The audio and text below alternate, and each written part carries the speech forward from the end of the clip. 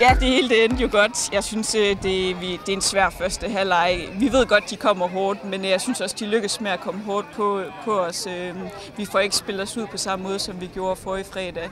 Øh, Men vi får scoret to gode mål, og, og det giver jo lidt ro. Og så er vi jo også heldige med, at de brænder et straf lige inden vi går til pause, så vi har lidt mere ro på i pausen, tænker jeg, til at få ændret nogle af tingene.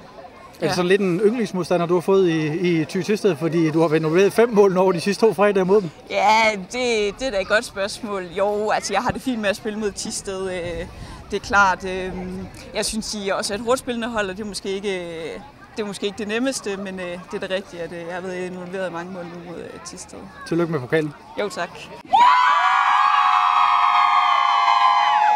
Tinel Pokalmester 2022, hvordan lyder det?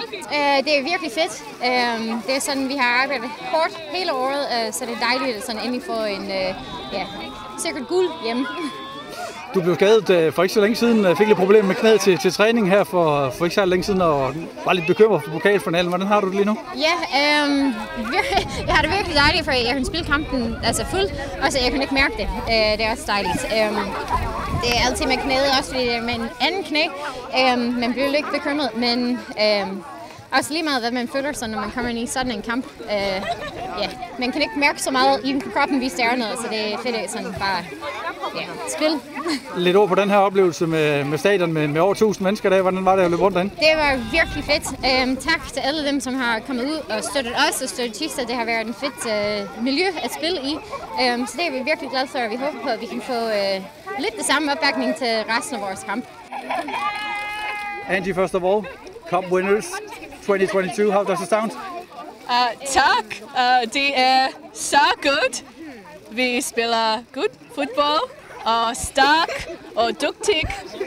Uh, stærk! That's all the Danish I have in me, but yeah.